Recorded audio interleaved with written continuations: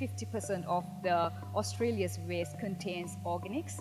So this would be an ideal solution if we could actually separate the food waste, get the uncontaminated waste and process this into something, a product that we could use to grow more food again.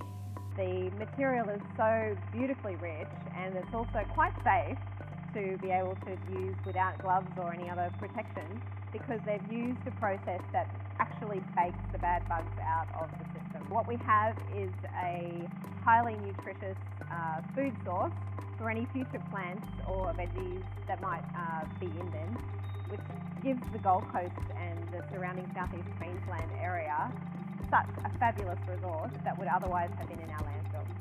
But if we can get the support of the government, the support of the councils to educate the local community about this, what they could do to responsibly manage their waste, it is going to make a huge change in the amount of waste that we are sending into the landfill.